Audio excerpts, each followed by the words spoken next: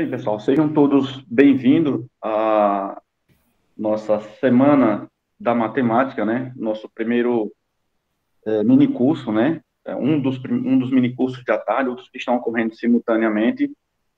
É, hoje a, a gente vai ter, hoje e quarta-feira, de duas às cinco, né? A gente sempre vai dar um tempinho para vocês, é, para a gente ter um, um para todo mundo entrar, né? Espero aguardar uns 10 minutos então, hoje a gente vai ter um mini curso do professor Manuel Júnior é, com o tema, tá, mas o que é um número inteiro, né?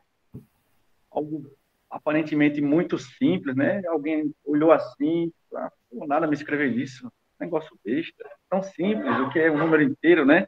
Ninguém, é, ninguém sabe o que é que nos aguarda. Eu, particularmente, fiquei curioso, por ser algo tão aparentemente simples, fiquei curioso. E aí pedi para colocar meu nome aqui para ficar é, coordenando aqui, junto com o Tenirto, né, que está aqui, que é um monitor. É, bom, falar um pouquinho rápido sobre o nosso sobre o nosso camarada que vai ministrar o, o mini curso, né, o Manuel. O Manuel, ele possui graduação em licenciatura em matemática, na realidade, é, só está faltando defender o TCC, né? É, que vai ser na linha, na linha de álgebra, ele está aí se preparando para a defesa do TCC, né? É, ele fez é, é, o curso de licenciatura do campus, do campus UFAL, do campus Arapi, Arapiraca, né? UFAL Arapiraca. Um, ele faz parte, né? Lá ele fez parte do programa de monitoria, atuando como monitor de Libras, os cálculos tudinho, cálculo 1, 2, 3 e 4, álgebra linear e EDO. E, além disso, foi monitor também dos laboratórios é, de LabMath, né, que é o Laboratório de Matemática, e o LEM, o Laboratório de Extensão e Ensino de, de Matemática. Bom, é, só tenho boa sorte a desejar ao nosso amigo e que todos nós possamos aproveitar aí esse mini curso nessa tarde e com certeza vai ser muito bacana. É, fique à vontade, viu, Manuel? Bom, então, primeiramente, boa tarde a pessoal que vai participar do mini curso. Agradeço ao professor Reinaldo pela, pela, pela apresentação e, desde já, né, agradeço a, a equipe de organização por terem aceito né, a proposta que eu lancei para o evento, tá? Então, vou fazer de tudo para ser realmente muito bom. É, Deixa eu compartilhar a tela e aqui eu faço algumas considerações.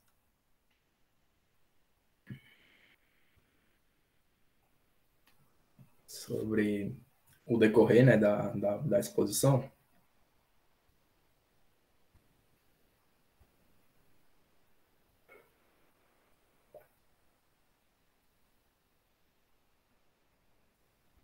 Um instante aí, tá carregando.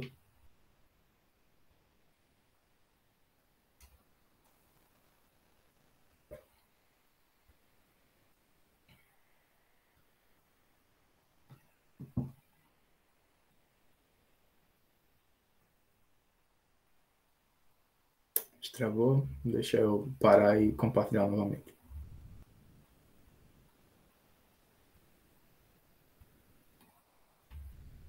Meu querido amigo notebook não, não está sendo tão solidário comigo esses dias. Bom, todos estão vendo, né? A tela, tá tranquilo já? Perfeito.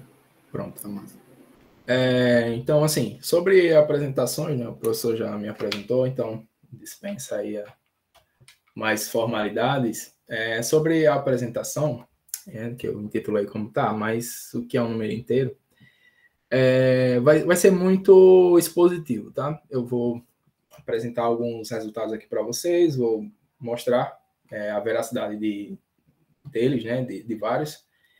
E assim, é, vai meio que funcionar como uma espécie de aula, certo? Então, a todo momento que vocês, sei lá, que vocês não entenderem alguma coisa, que queiram fazer alguma pergunta, é, sintam-se à vontade para, sei lá, digitar no chat ou se, se quiserem abrir, abrir o microfone para fazer algum comentário, sintam-se à vontade, certo? Então, você, espero que seja um ambiente bem descontraído assim, conversa mais informal.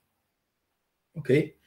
Então, é, eu, eu, eu, dividi né, essa, essa exposição para os dois dias, é, só que assim, se eu perceber que o que a gente vai fazer hoje aqui, é, sei lá, ainda, ainda, se ainda nos restar muito tempo ao final dessa exposição, eu abro ali o, o próximo material e eu apresento mais alguns resultados para que o dia de amanhã não, não fique tão corrido, né? Assim, é, se a gente conseguir aproveitar e colocar mais alguns conceitos nessa exposição de hoje, ótimo. Caso contrário, é, eu pelo menos já vou ter uma noção do tempo, né, que eu vou utilizar para esse primeiro momento.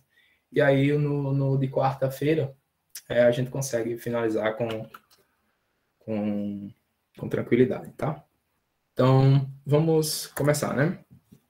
Aí vai estar um roteiro de, do que a gente vai fazer durante esses dois dias, tá? Vou fazer uma, uma pequena introdução sobre, é, trazer alguns conceitos preliminares, tá? Que vão ser importantes, mas certamente vocês já devem conhecer. Uh, eu vou definir, né? Eu vou dizer o que é o conjunto dos números inteiros, certo? Vou munir esse conjunto com a adição e com a multiplicação, que é algo que a gente espera, né? Para esse, esse conjunto. É, mostrar que está bem definido uma relação de ordem em Z. Apresentar a imersão de N em Z. Agora, bom, talvez os outros três tópicos vocês tenham ciência do, do que seja. Agora, a imersão eu não sei se todos conhecem. Mas a ideia é o seguinte, tá? É, eu, vou, eu vou comentar um melhor sobre esse, esse conceito na quarta-feira. Mas a ideia é o seguinte: o que é uma imersão de um conjunto em outro? É que dizer que N está imerso em Z é dizer que existe lá dentro do, do conjunto dos inteiros um subconjunto que tem a mesma estrutura algébrica de N. Ou seja, se vocês pegarem um certo subconjunto de Z, que, claro, a gente tem ciência que é o, o Z+, né? Os inteiros não negativos e, e pegar o, o, os naturais, eles são indistinguíveis quanto à sua estrutura algébrica, tá? Então, assim, é muito corriqueiro da gente dizer que os naturais estão contidos nos inteiros, mas não é bem isso que acontece, certo? Existe uma imersão. No conjunto dos inteiros, existe um subconjunto que tem a mesma estrutura algébrica que os naturais. Então, o que é que a gente faz para facilitar a vida, né? Bom, vamos considerar, né, que os naturais é um subconjunto de Z e até facilita é, facilita né, essa ideia de, de trabalhar com esses tipos de conjuntos, tá? Mas depois a gente conversa sobre, sobre esse, esse ponto.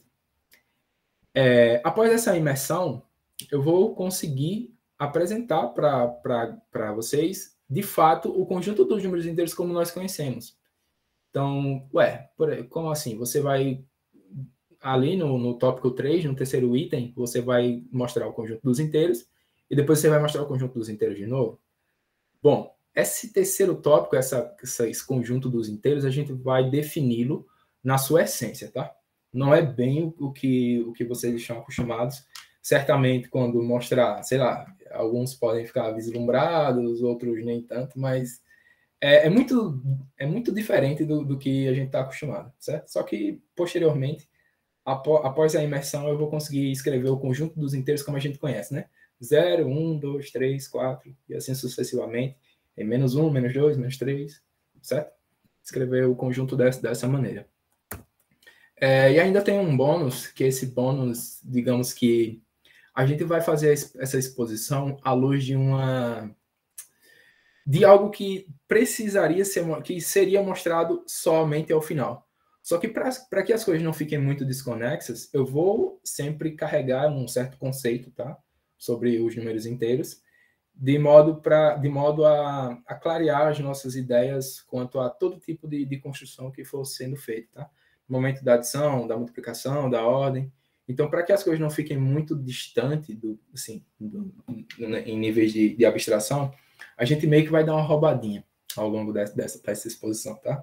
Mas no final eu mostro que de fato isso que a gente que eu chamei de bônus é, verdadeiro e faz sentido que nós estivéssemos utilizando ao decorrer de toda essa toda essa conversa, tá? Por fim, eu vou deixar, né, ao, final dos, do, dos dois dias, eu deixo aí as referências dos livros e quem sabe, né, vocês busquem aí as, a construção dos demais conjuntos, né, se, se for do interesse, tá? Então vamos começar, vamos introduzir essa, essa conversa. Então, pessoal, no conjunto do, dos números naturais, é, estão definidas duas operações, né? Que a gente conhece, tanto que é trabalhado em teoria dos números, né? Adição e multiplicação. Só que imagina lá no ensino básico, quando o conceito de número inteiro é introduzido, né?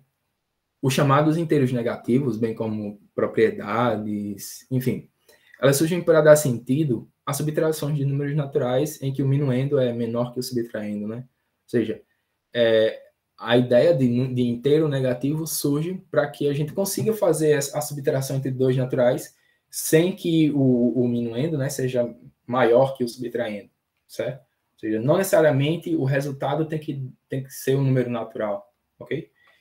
Então, é nesse sentido que surgem esses inteiros negativos. É, além disso, né, uma vez introduzido esse, esse conceito de número inteiro, são definidas, entre aspas, as demais operações desse conjunto. Por exemplo, regra de sinais, é, potenciação, né, potência, potências negativas, enfim. É, só que, por outro lado, essas definições, né, elas são dadas sem rigor matemático, apenas com o intuito de, de estender as operações e, e, propriedades já obtidas nos conjuntos de números naturais, né?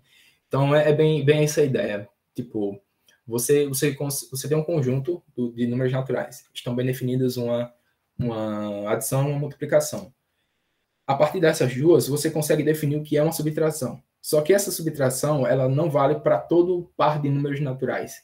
É, é, requer uma certa exigência, certo? Que é quando, no caso, minuendo maior que subtraindo.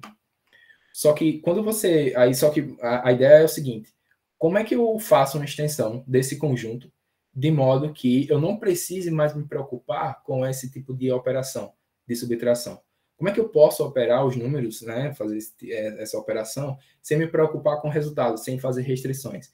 Então, você faz uma extensão no conjunto e, e consegue definir essa operação sem restrições, para qualquer, qualquer par de, de, de inteiros, sem, sem pensar na ordem, né, entre eles. Então, aí você constrói o conjunto dos inteiros.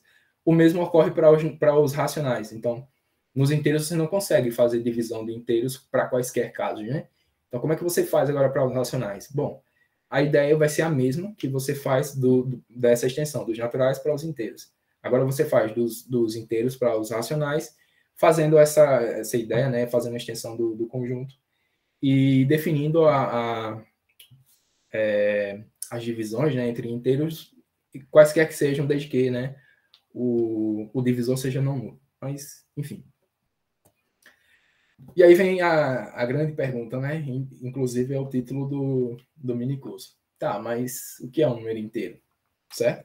Isso, isso é uma pergunta assim, né, quando você, eu, eu particularmente, enquanto estive lendo alguns materiais sobre, essa pergunta ela entra num, caráter bem mais filosófico, né?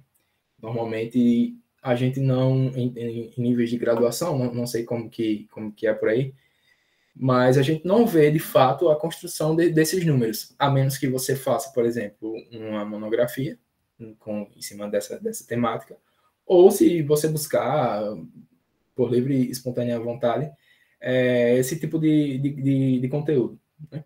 Então, na disciplina de teoria dos números, a gente vê uma espécie de construção dos naturais via axiomas de Peano, uh, e, as, e quando entra na parte de números inteiros, né, trabalhar números inteiros, teoria dos números, aí já o que já o que já é feito, né, é você não mais, sei lá, você axiomatiza também os inteiros. Você não, não constrói, né? Tem, tem essa tem essa essa confusão. Você axiomatizar não é você construir, né, o, o conjunto. Mas enfim, não vamos entrar nesse método. Daqui a pouco a resposta do que é um número inteiro vai vai ser dada. Então, pessoal, o objetivo aqui é a gente construir o conjunto dos números inteiros, certo? A partir da estrutura aritmética que nós, que nós temos do conjunto dos naturais. E aí a gente vai usar noções de noções básicas, assim, nada muito, muito avançado de teoria de conjunto e relações de equivalência, certo? É, pré-requisito para esse tipo de, de para avançar, né, para fazer essa construção do, desse conjunto. Bom, o único pré-requisito aqui que eu, que eu espero que vocês conheçam é o conjunto dos números naturais, tá? E aqui a gente vai considerar que o zero é natural. Para essa construção especificamente, é interessante que o zero seja natural. e aí ele vai atuar como elemento neutro da, da adição do, dos naturais, é, multiplicar por zero dá zero, enfim. E o que, que seriam, né? Essa, conhecer esses números naturais? Conhecer todas as, as propriedades, por exemplo, ah, é, os números naturais você pode como tal, você pode associar, aí, nesse caso, né, do o zero ser natural. Então, o zero é elemento neutro da adição, enfim. Então, essa, essa é a estrutura dos naturais, certo? Que, que a gente aprende aí em algumas disciplinas, é, no caso, na disciplina de teoria do números, né? não sei se todos já fizeram, não sei. Mas a todo momento em que eu for utilizar a propriedade de números naturais, eu vou relembrar, por exemplo, por que, que vale tal coisa? Bom, porque nos naturais isso é verdade. Então, aqui a gente está aplicando isso porque nos naturais isso é válido e a gente está trabalhando com naturais em determinados momentos. Então, é, vou sempre fazer essas, essas alusões ao conjunto dos naturais, né? Então, mesmo que, que alguns não tenham conhecimento, certo? Mas eu vou ficar fazendo essas, esse, esses, essas observações e aí a gente vai conseguir, certo? Avançando aos poucos e construir esse, esse conjunto, ok? Bom, então, conceitos preliminares. É, eu começo definindo o que é um produto cartesiano, entre dois conjuntos, tá? Então, a princípio, o que é que eu precisaria definir? Bom, eu precisaria definir o que é um conjunto, o que é um, o elemento, enfim, relação de inclusão e tal, essas coisas. Tudo isso eu vou deixar passar. Eu vou colocar apenas alguns conceitos específicos, porque na hora que a gente for definir o conjunto dos inteiros, todos esses conceitos que vão estar aqui vão aparecer, certo? Mas assim, é, fica aí, né? É esperado que conheça o conjunto, o que é um conjunto, o que é, é relação de, de, pertinência entre elemento e conjunto, inclusão, enfim. Todas essas coisas é, vou deixar de lado, tá? E vou definir apenas algumas coisas. Então, beleza. É, então, das dois conjuntos não vazios, né, EF, nós chamamos de produto cartesiano de E por F, o conjunto de todos os pares ordenados, x, y, né? Tais que o x está em E e o y está em F. Nós denotamos, né, de, de, nesse formato, vou começar a riscar agora.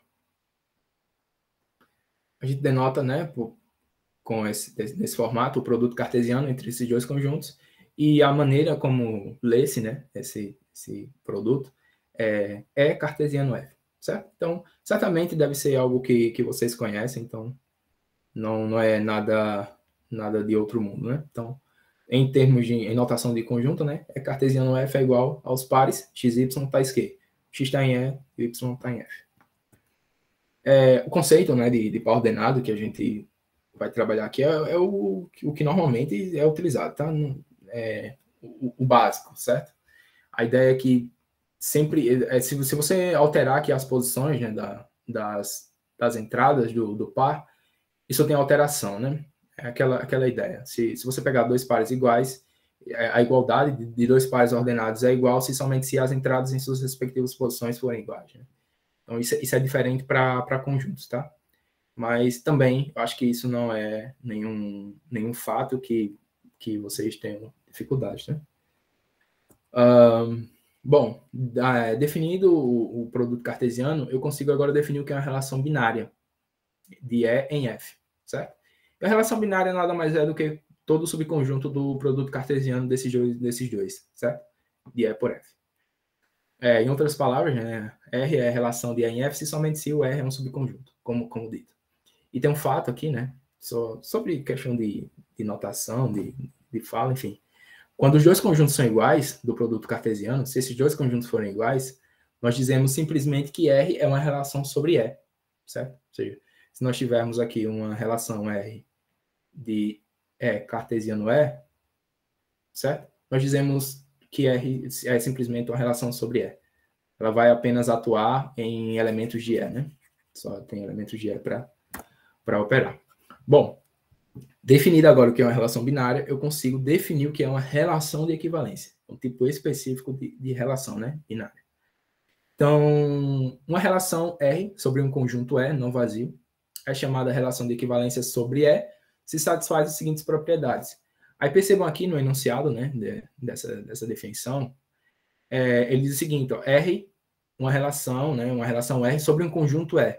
Então, o que é está subtendido para a gente aqui? que o produto cartesiano é de E por E, né? Ou seja, você está tomando um produto cartesiano de dois conjuntos iguais, certo? Então, é, essa relação vai ser dita de equivalência quando, né? É, essa, essa relação for reflexiva, ou seja, um elemento sempre se relaciona com ele, qualquer que seja o elemento do conjunto.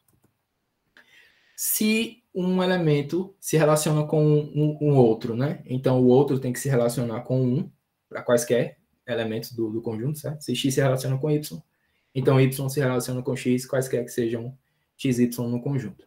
Essa é a propriedade de, de simetria da relação. E se x se relaciona com y, y se relaciona com z, então vale a transitividade. x se relaciona com z. Isso também quaisquer elementos que você pegar né, no seu conjunto é, certo? Então precisa ser reflexiva, simétrica e transitiva. Se uma relação satisfaz essas três propriedades, ela é chamada relação de equivalência. Exemplo de relação de equivalência. A igualdade, né? No, no conjunto dos naturais, ela é uma relação de equivalência. Por quê? Um elemento é igual a ele mesmo, sempre, né? Um número natural é igual a ele mesmo. Se você pegar um x igual a y, então é claramente, né? O y vai ser igual a x. Então vale a simetria. Se você pegar um x igual a um y e um y igual a um z, claramente o x é igual a z, certo? Então, a igualdade no, nos naturais é, é uma relação de equivalência. Outra relação de, de, de, equivalência é o paralelismo entre retas em um plano, certo? Vocês pegarem, é, por exemplo, uma reta é paralela a ela mesma sempre, porque se você imaginar duas retas, é, no caso de retas coincidentes, né? É, a coincidência entre retas é ainda um caso de, de paralelismo, certo? Então, por que, que uma reta sempre é paralela a ela mesma? Porque nós estamos aí no caso de, de retas coincidentes, certo? Então, se você pegar uma reta x paralela a uma reta y, obviamente a reta y vai ser paralela à reta x. Então, vale aí a, a, a simetria, certo? E se você pegar agora uma reta x paralela a uma reta y, e essa reta y paralela a uma reta z, então, por transitividade, né, a gente consegue verificar que a reta x vai ser paralela à reta z. Então, verificadas as três propriedades, o paralelismo entre retas em um plano é, é uma relação de equivalência, beleza? Então, o que, que não é uma relação de equivalência? Por exemplo, o perpendicularismo entre retas no plano, certo? É, a primeira condição, né, a reflexividade já, já não é satisfeita, certo? Uma reta não é perpendicular a ela mesma, né? não, não faz sentido. Então, a, como a propriedade de reflexividade já não é satisfeita no perpendicularismo, é, aqui a gente já tem, de fato, que o perpendicularismo não é uma relação de equivalência. Mas, se a gente for analisar a, as demais, né, vocês podem perceber que a simetria vai ser satisfeita, né? Se você pegar uma reta x perpendicular a uma reta y, então, claramente, a reta y é perpendicular à reta x, né? Elas têm ali o seu ângulo 90 graus, enfim. Só que a transitividade ela também não é satisfeita, né? Se a gente pegar aqui, sei lá, uma reta x, uma reta x, perpendicular a uma reta y, que por sua vez é perpendicular a uma reta z. Aí será que x é, é perpendicular a z? E aí claramente não, né? E verifica-se mais que isso, né? Que x é paralelo a z, tem que ser paralelo a z, e não perpendicular certo? Então, o perpendicularismo entre retas é, no plano também, é, na verdade, né, não é uma relação de equivalência. Ok. Uh, beleza, então eu defini um produto cartesiano, defini uma relação num produto cartesiano, e, e após definir relação, eu consegui definir o que era uma relação é, de equivalência. Beleza. Se eu tiver de posse de uma relação de equivalência, eu consigo definir agora o que eu chamo de classe de equivalência. Certo? Então, seja R uma relação de equivalência em E e tome um elemento qualquer no conjunto, no, no conjunto, né? Você toma um elemento no conjunto. Então, chama-se classe de equivalência, determinada por A módulo R, o subconjunto A barra contido em E dado por. Então, a ideia vai ser o seguinte: você, você fixa um elemento do, do conjunto e você observa todos aqueles que se relacionam com ele via a relação de equivalência que você definir dentro do conjunto, certo? Então, todos os, os caras que se relacionam com ele, pertencem à sua classe de equivalência, certo? A ideia é que são os outros representantes né, da classe, mas enfim. Beleza. Então, nós definimos aí o que é uma classe de equivalência. E agora eu vou. primeiro cálculo né, que a gente vai fazer, eu vou mostrar uma proposição que ela vai ser utilizada por toda a trajetória. A gente sempre vai recorrer a essa proposição, vai sempre utilizá-la, tá? Mas não vamos ficar relembrando, assim, hipóteses, nada, nada nesse sentido, tá? Vai se tornar algo mecânico ao, longo da, da exposição. Mas a ideia é o seguinte, ó. É, seja R uma relação de equivalência em E e tome dois elementos no conjunto. Então, as seguintes proposições são equivalentes. A primeira delas, A se relaciona com B. A segunda, o A pertence à classe de equivalência do B, né? ou, ou simplesmente B barra, vou chamar de A barra, B barra. É, terceira, ah, já foi, pulou para 3 e 4, mas enfim. A terceira é que o B pertence ao A barra e a, as duas classes são iguais, certo? A barra é igual a B barra. Então, o que quer dizer que, que essas proposições são equivalentes? Se vocês pegarem elas, duas a duas, elas têm uma relação de, de bi-implicação, né? É, por exemplo, 1 se somente se 2, 2 se somente se 3, 3 se somente se 4. Ou seja, uma implica a outra, certo? E, e, e vice-versa. Então a gente vai verificar que essas quatro são equivalentes.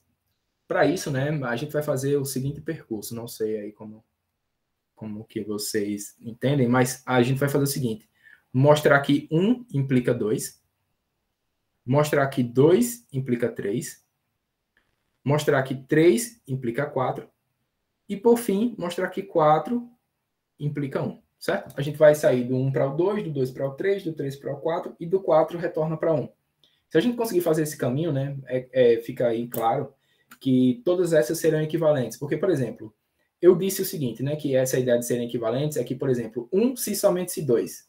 Tá, nesse caminho que a gente vai fazer, 1 implica 2. Ok, mas o que me garante que 2 implica 1? Percebam que lá no, lá no final, né, assim, por esse caminho, nós vamos fazer o seguinte, que 2 implica 3, 3 implica 4, 4 implica 1.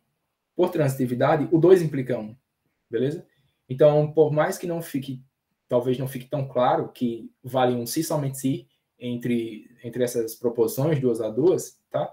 Mas se vocês observarem aí, fizerem algumas transitividades, vocês percebem que, de fato, as, as outras implicações, né, as voltas, digamos assim, da, da, dessas equivalências, elas também são satisfeitas. Basta mostrar esse, esse percurso, tá?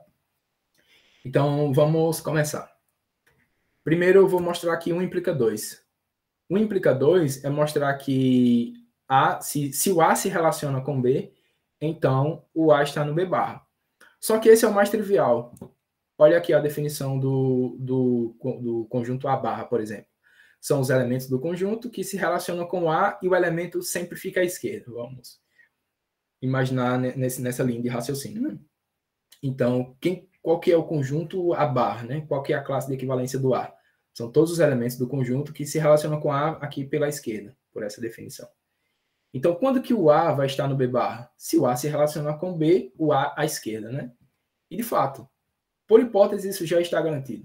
O A se relaciona com B, o A está à esquerda. Então, isso quer dizer que o A está na classe de equivalência do B. Certo? Então, 1 implica 2 é direto. É só usar a definição do, do, do conjunto, né? B barra. 2 uh, implica 3. Vamos verificar o seguinte, né? Que se o A pertence à classe de equivalência do B, então o B pertence à classe de equivalência do A. Ok? Então, veja só. Como o A está na classe de equivalência do B, né, pertence a B barra, então, por definição do B barra, o A se relaciona com B à esquerda, certo? Só que essa relação, essa relação R, por hipótese, é de equivalência. Então, ela é reflexiva, ela, é, ela tem a propriedade de simetria e ela tem a propriedade de transitividade, certo? Então, o que é que eu vou fazer aqui nessa relação? Eu vou usar a simetria. Então, se o A se relaciona com B, por simetria, o B se relaciona com A ok? Mas se o B se relaciona com A, o que é que nós garantimos disso, né? Por definição do conjunto A barra, pela classe de equivalência do A, o B está na classe de equivalência, né? nessa classe, no A barra. Certo? Então, B se relaciona com A implica que o B pertence ao A barra. E aí nós, nós garantimos né, que 2 implica 3. Se o A está no B barra, então o B pertence ao A barra. Uh, ah, 3 implica 4. Nós queremos mostrar que se o B pertence ao A barra, então os dois conjuntos são iguais. O A barra é igual a B barra. Certo? Aí aqui, essa é um pouco mais, mais longa, mas lembrando que A barra e B barra são dois conjuntos. Como é que a gente mostra, por exemplo, que dois conjuntos são iguais? Bom, a gente mostra que um está contido no outro e que o outro está contido no um. Né? Se a gente mostrar essa dupla continência, então os dois conjuntos são iguais, certo? Então, só. É, por hipótese, o B pertence ao, A, pertence ao A barra, certo? Que é a hipótese que vem de 3. É, e aí, por definição do, do A barra, nós temos que o B se relaciona com A. E vale mais ainda né, que o A se relaciona com B. Por que, que o A se relaciona com B? pela simetria da relação de equivalência. Se o B se relaciona com A, então o A se relaciona com B. Beleza. Agora vamos fazer o seguinte: como é que eu mostro que um conjunto está contido no outro? Né? Eu pego um elemento genérico em um deles e mostro que está no, no outro, certo? Então eu vou mostrar essa inclusão aqui, deixa eu ver. Eu vou mostrar essa inclusão aqui, ó, que o A barra está contido no B barra e a outra vai ser análogo, tá?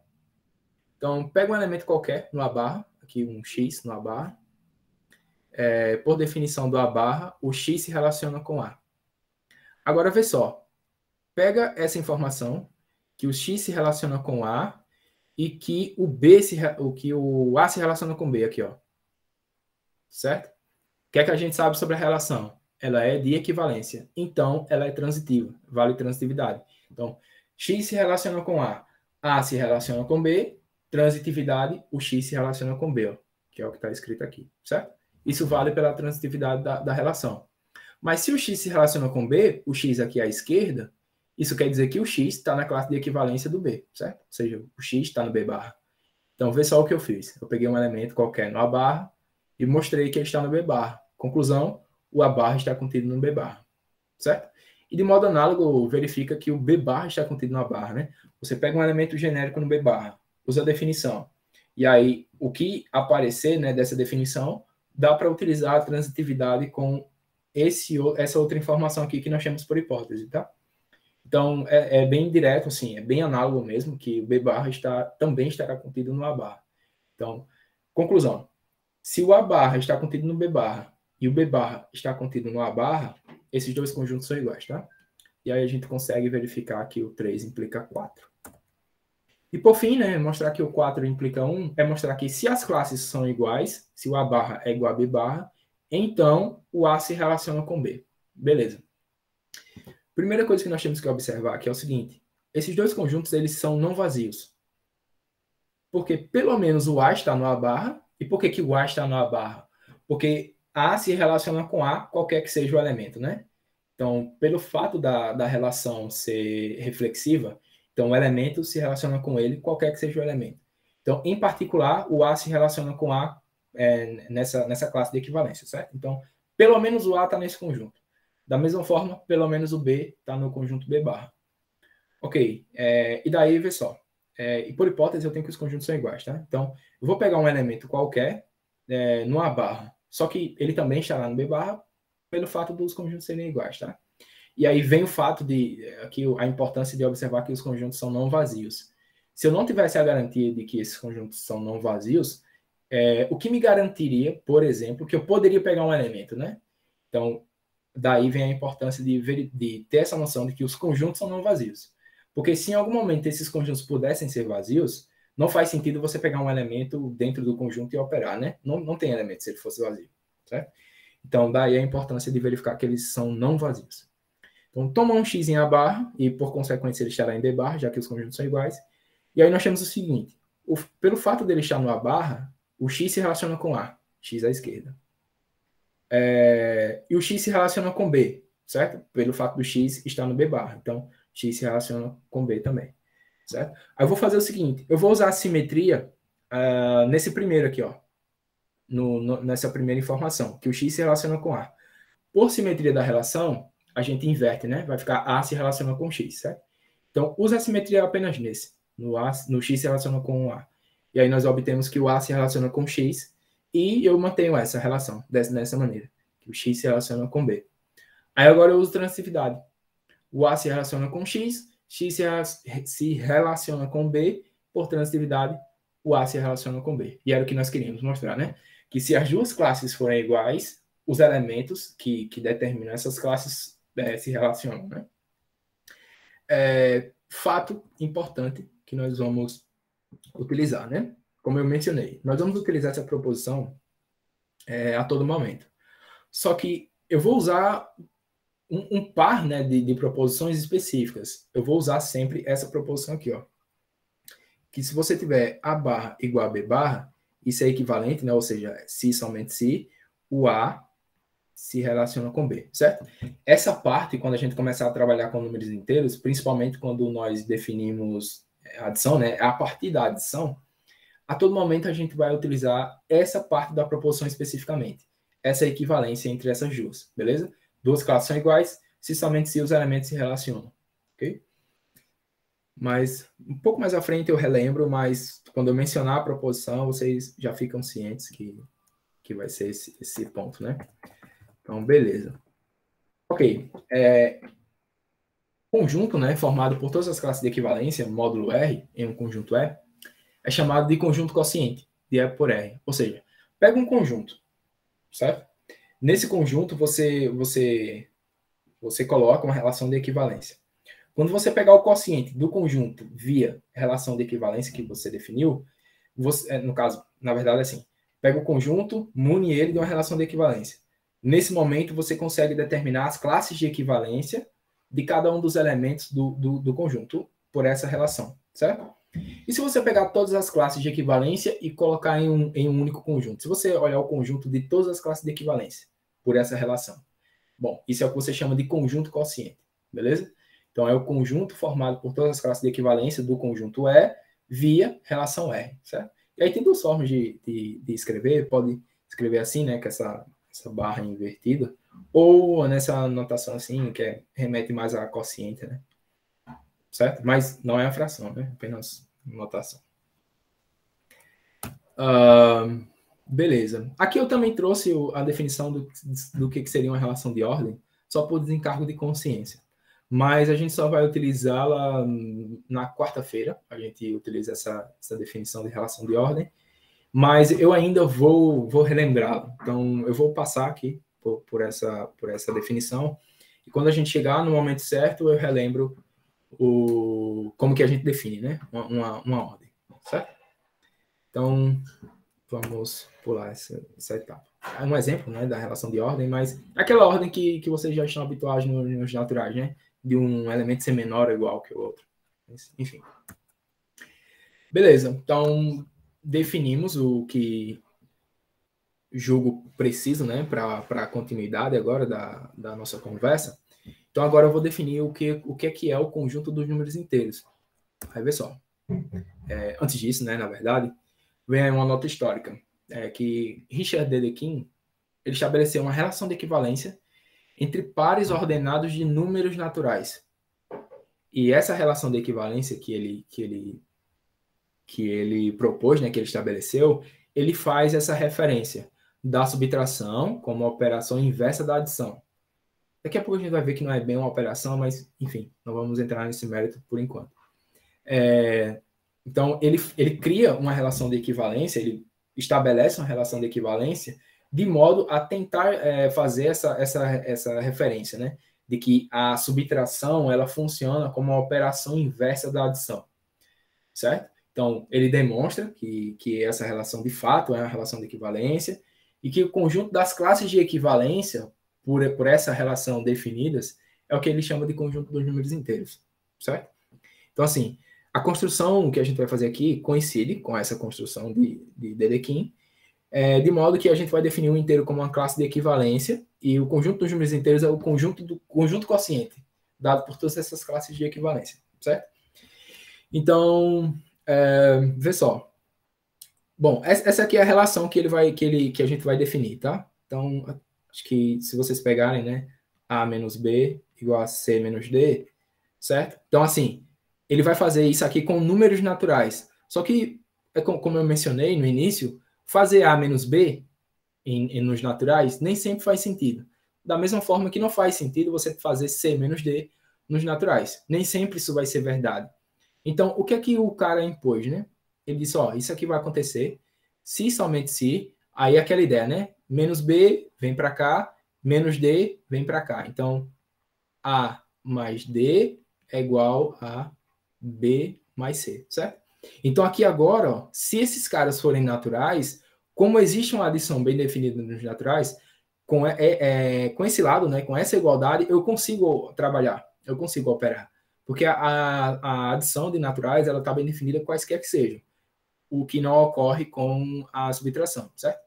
Então, ele estabelece essa relação de modo que, ora, eu não consigo trabalhar eh, para quaisquer naturais com essa, com essa igualdade, porque nem sempre vai fazer sentido essas, essas subtrações.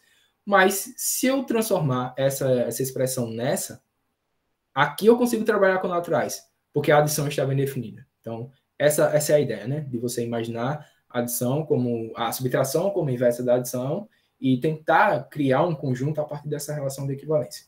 É isso que a gente vai fazer agora. Então, só. Considere o conjunto n cartesiano n, certo? O conjunto produto cartesiano de n por n, que é o conjunto de todos os pares ordenados AB, onde A e B são naturais. Eu vou definir aquela relação que eu já mencionei anteriormente. Eu vou denotar ela por esse tiozinho, tá? E eu vou definir ela da seguinte maneira, né? Ou seja, dados A, B, C, D, em n cartesiano n. Então, a gente vai dizer que dois pares de naturais se relacionam se somente se isso aqui ocorre, certo? A mais D é igual a B mais C. Como é que a gente vai enxergar, né? Sei lá, pelo menos para mim funciona, tá? Essa ideia de sempre enxergar essa relação para que não me confunda, né? Eu, eu sempre imagino o seguinte, ó, primeiro membro, o primeiro somado com o quarto natural e o segundo membro é o segundo somado ao terceiro, ou seja, primeiro com o quarto igual segundo com o terceiro, somado já. Então essa relação ela é construída nesse, nesse formato. Uh, a exemplo, né, do, de que de fato isso, isso aí vai funcionar, vai ser o seguinte: como é que eu verifico com números naturais que essa relação, né, como é que ela vai funcionar? Bom, é, eu tenho que o 3, 5, o par 3, 5, é, se relaciona com 5, 7. Por quê? Porque se eu somar o 3 com o 7, vai ser igual ao 5 somado ao 5, certo? Ou seja, 10 é igual a 10, de fato, isso é verdade. Então, é, é, é nesse formato que essa relação vai funcionar, tá? Então, pega o primeiro cara, soma com o quarto, e o segundo com o terceiro, igual. Ok? Então, só. É, a afirmação que eu faço agora é que essa relação que nós definimos é de equivalência. Né? Com efeito, é, vamos pegar três pares aí ordenados de, de números naturais. E vamos observar o seguinte. Será que um elemento se relaciona com ele mesmo? Então, relembrando, né? Eu quero mostrar aqui a relação de equivalência. Então, preciso mostrar que é reflexiva, que é simétrica e que é transitiva. Beleza? Então, primeiro, o que é a reflexividade? Eu tenho que mostrar que um, que um, um esse, esse par se relaciona com ele mesmo, independente do, do par de naturais que você pegue. Bom, mas pela forma que a gente definiu essa relação, isso aqui vai ser equivalente a dizer que o A mais B, certo? Primeiro membro, é igual ao B mais A, segundo membro. Aí vem, aí vem a grande sacada. Será que isso é verdade? Será que A mais B é igual a B mais A? E isso vai ser verdade por quê? Porque agora nós estamos com soma de naturais. E a soma de naturais é comutativa, certo? Então, nos naturais, percebam que aqui agora ó, é só naturais aqui. É igualdade entre uma soma de, de naturais. E nos naturais vale a comutatividade. A mais B é igual a B mais A, independente de quais, quaisquer que sejam aí os, os naturais, certo? Então, de fato, um, um, um par, né, sempre se relaciona com ele mesmo, independente do, do par que você escolha. Então, vale a reflexividade. Vamos verificar que vale também a, é, a simetria. Então, o que é, que é a simetria? Se x se relaciona com y, então y se relaciona com x, né? Ou seja, a gente consegue inverter, né, o modo ali de, de relacionar os elementos à escrita. Então, eu vou partir dessa, dessa relação. Eu vou supor por hipótese, que AB se relaciona com CD. Bom, mas pela definição da relação que nós colocamos, isso aqui é equivalente a dizer que A mais D é igual a B mais C. Certo? Só que, pessoal, aqui eu estou nos naturais. E a gente já verificou também, foi, foi até um exemplo que eu comentei, que a igualdade nos naturais é uma relação de equivalência. Então, se esse cara é igual a esse, então esse é igual a esse, né? Ou seja, se o primeiro, se o primeiro é igual ao segundo, então o segundo é igual ao primeiro. Eu posso inverter é, os membros né, da, da, igualdade. Eu posso escrever B mais C igual a A mais D. Só que mais que isso, eu vou fazer mais que isso. Além de inverter os membros da igualdade, eu vou usar a comutatividade em cada um dos membros. Como assim? Ora, ao invés de escrever aqui no primeiro membro B mais C, eu escrevi C mais B. Eu comutei. Igual, ao invés de escrever A mais D, aqui no segundo membro, eu escrevo D mais A. Ou seja, eu comutei também é, esse, essa, essa adição né, do, dos naturais. Agora percebam ó, que essa igualdade ela é equivalente a dizer que esses dois pares se relacionam. Certo? Basta olhar a definição. O que quer dizer que esses dois pares se relacionam? Que CD é, se relaciona com o AB? Bom, é que o primeiro somado com o quarto, ó, C mais B, é igual ao segundo somado com o terceiro, D mais A, certo? E por isso, né, que, que eu inverti, eu comutei ali os, os elementos, para que a forma como ficasse escrita ali, a igualdade, ficasse exatamente com a cara da nossa relação. Ok? Então, vê só, nós, nós temos que se AB se relaciona com CD, então CD se relaciona com AB. Beleza, vale a simetria. A transitividade vai, vai precisar de uns passinhos a mais, mas nada de, de outro mundo, tá? Vamos supor que AB se relaciona com CD e que CD se relaciona com EF. Qual que é a nossa missão aqui, né? mostrar que o AB se relaciona com o EF, ok? Mas, né, pela definição da nossa relação, o que, o que quer dizer que o AB se relaciona com CD? Bom, é que o primeiro, somado com o quarto, A mais D, é igual ao segundo somado com o terceiro, é igual a B mais C. E, aí usa a definição aqui também, né? C mais F é igual a D mais E, certo? Basta usar a definição aqui da relação, né, que é da forma como a gente definiu a relação aqui né, para esses dois pares certo? Então nós temos aí essa, essa igualdade. Aí vê só o que vai acontecer agora. Eu vou pegar essa expressão e somar f dos dois lados, certo? Por que, que eu posso fazer isso? Porque nos naturais isso, isso é verdade, né? Tipo, você tanto pode somar ou como cortar, né? Então é, é tranquilo isso.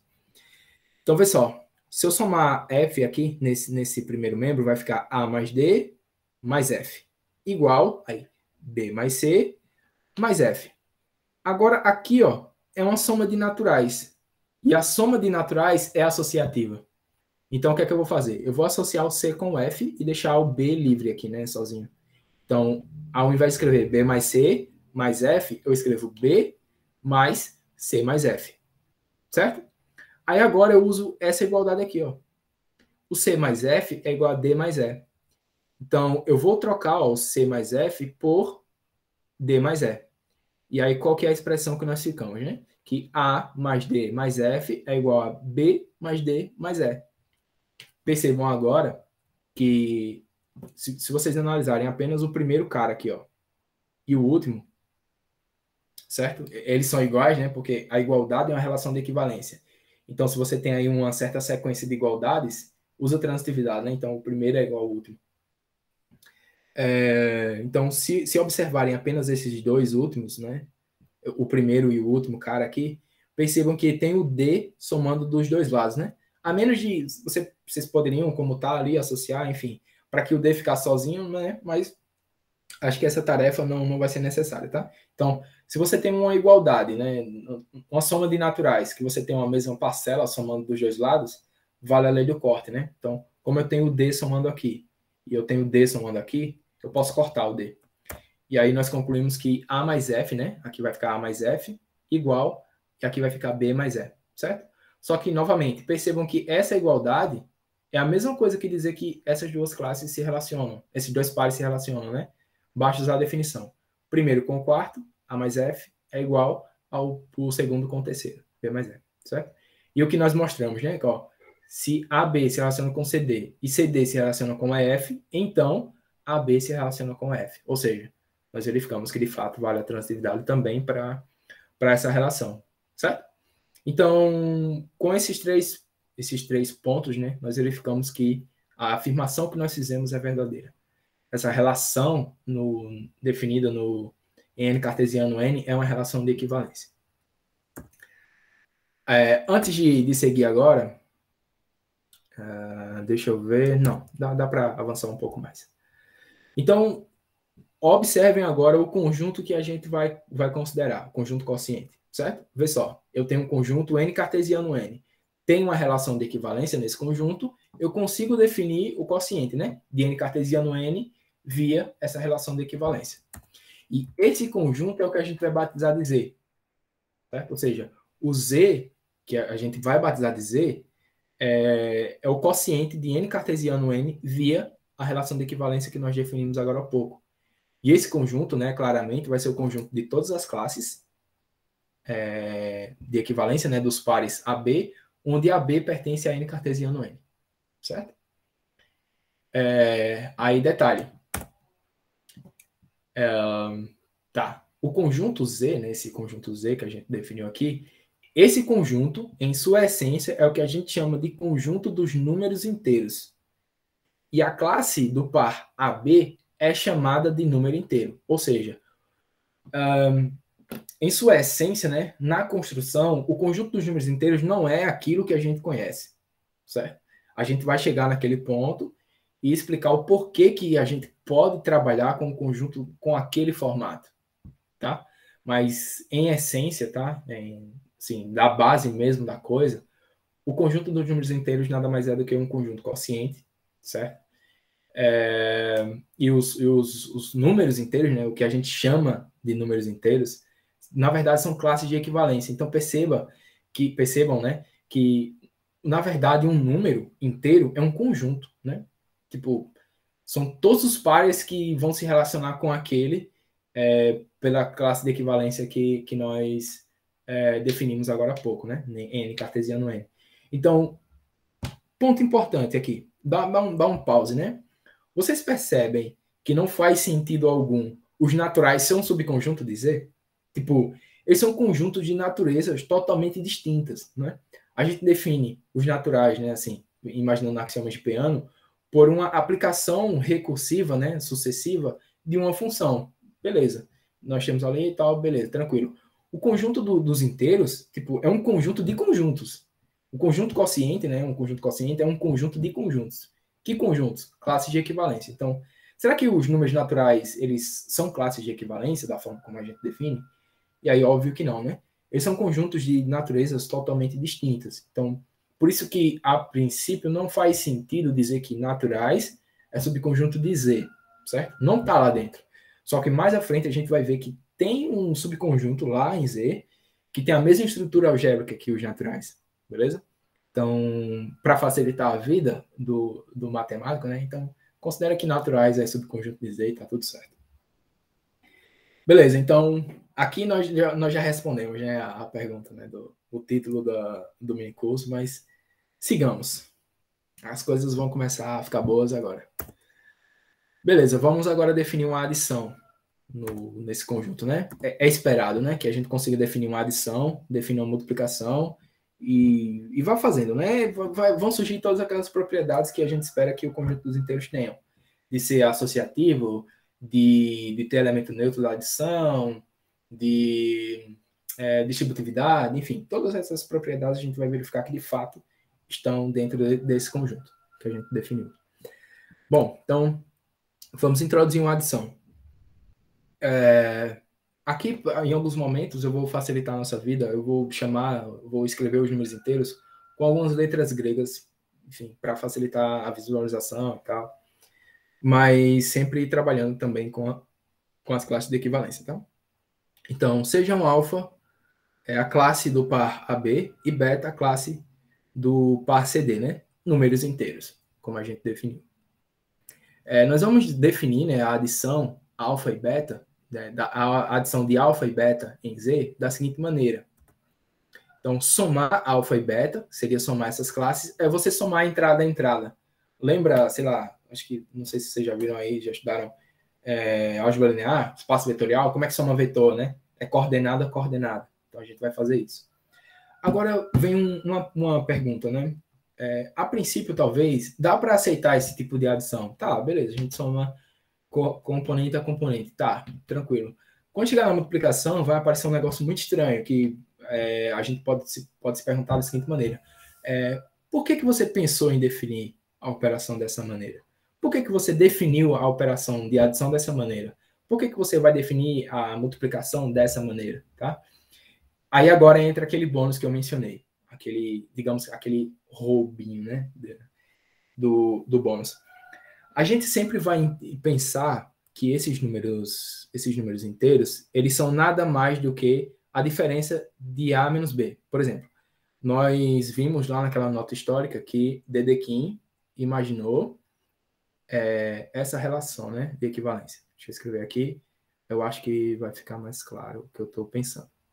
É, C menos D. Isso aqui, se somente se, aí faz né, as operações. A mais D é igual a, a B mais C. Certo? Então, essa foi a, a relação que Dedekind, que Dedekind é, colocou né, sobre N cartesiano N enfim, e faz toda a construção do, do, dos inteiros. A gente definiu também pensando nessa relação, certo? Se vocês voltarem na, na nossa relação de equivalência, isso aqui é a mesma coisa que dizer que a classe do par AB, né, ou o número inteiro né, dado por esse, esse camarada, é igual à classe do par CD, certo? Da maneira que a gente, como a gente definiu, né, do n cartesiano n, essa igualdade aqui é equivalente a dizer que essa igualdade é verdadeira. Então, o que é que vai estar no nosso pensamento a todo momento? Ora, olha para esse lado e olha para esse lado. Então, como é que a gente vai encarar essa classe do par AB? Nada mais do que a diferença A menos B, certo? Então, a ideia, a ideia que está por trás de toda a construção que nós vamos fazer é a seguinte, é que a classe de equivalência de um par nada mais é do que a, sub, a, a diferença, né? Da primeira entrada pela segunda, sempre nessa ordem. Então, é, a classe do par B vai ser A menos B, lá na frente. E a classe do par CD vai ser C menos D, lá na frente, certo? Então, uh, por que, que eu defini a adição dessa forma? Então, se a gente imaginar nesse sentido, né? nós temos isso aqui, ó. É, o alfa vai ser a classe do par AB e o beta a classe do par CD. Bom, se a gente quiser imaginar isso aqui como uma subtração, isso vai ser A menos B. E esse é a mesma coisa, né? C menos D. Soma esses dois. Soma alfa e beta, né? Então, alfa mais beta vai ser A menos B mais C menos D, certo? Aqui, a menos de, de operações, né, é, manipulações, vocês conseguem reescrever isso aqui da, da seguinte maneira. A mais C, certo? Associa o A e o C. E vai ficar menos B menos D. Aí eu vou colocar o menos em evidência, menos 1 em evidência. Vai ficar assim, ó. É... B mais D. Certo? Só que, novamente, A mais C é um número natural. B mais D é um número natural. Então, essa subtração, eu posso encará-la como uma classe de equivalência. Que classe de equivalência? É o primeiro, a primeira entrada menos a segunda, né? Então, se eu escrever isso aqui como uma classe de equivalência, vai ser A mais C, B mais D. Certo? Então, ó, somar alfa e beta, somar dois números inteiros, é somar coordenada a coordenada, como a gente definiu, tá? Só que não é uma definição que caiu do céu. Tem um, um motivo por trás, né? da, da coisa, certo? Então, é essa ideia aqui de encarar uma classe de equivalência, o número inteiro, como sendo a diferença né, entre, entre as entradas, é o que eu vou sempre fazer alusão, sempre é, fazer essa observação, para que as coisas não fiquem muito distantes assim do, do que a gente for fazer, tá? Então, está bem, bem definida aí, né? Não. Na verdade, a gente vai verificar que, que essa operação está bem definida. Porque, vê só, nós definimos uma operação de soma. Mas o que me garante né, que, eu, que eu pegue, por exemplo, eu, eu tenho o, o, o número inteiro alfa, a classe AB. Só que será que eu consigo outros conjuntos que, a princípio, né, o, o elemento que, que gera ali aquela classe de equivalência, eles, eles são distintos, né? Ou seja, pegar duas classes de equivalência, em que os elementos que a definem são distintos e de modo que elas sejam iguais. Será que quando eu somar vai dar valores diferentes, vão me dar classes diferentes? Ou seja, será que a classe, é, a soma, né, essa soma que a gente definiu, será que ela está unicamente determinada? Se você somar alfa e beta com determinados representantes, vai dar um número inteiro. Se eu mudar os representantes, vai dar o mesmo inteiro? É isso que a gente quer verificar, né? Então, e de fato isso, isso vai ser verdade, só que a gente vai verificar que essa operação está bem definida, certo? Ela vai depender do representante. Então vamos fazer o seguinte: vamos pegar mais dois números inteiros, certo? Que eu vou chamar de, de, de são essas duas classes, tá? A classe do A', B' e a classe do C', D'. São outros representantes das classes é, do, do PAB e um, outra, um outro representante da classe do PACD, beleza?